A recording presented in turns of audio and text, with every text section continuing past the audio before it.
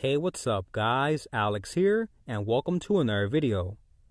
Although Corey Graves appeared for the Raw reunion show this week, he was not on SmackDown Live the following night.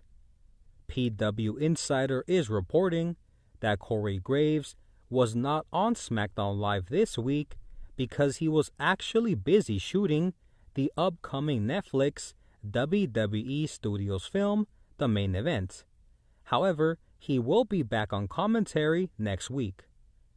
Someone who was also absent from SmackDown Live this week, Kabuki Warriors manager Paige.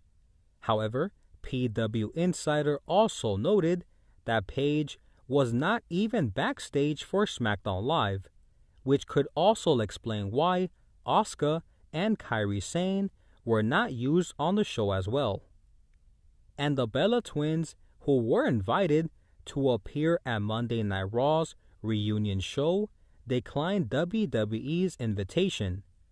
According to the Wrestling Observer, the reason why the Bella twins did not attend Monday Night Raw this week was due to prior engagements. Thank you so much for watching, and I'll see you guys on the next one.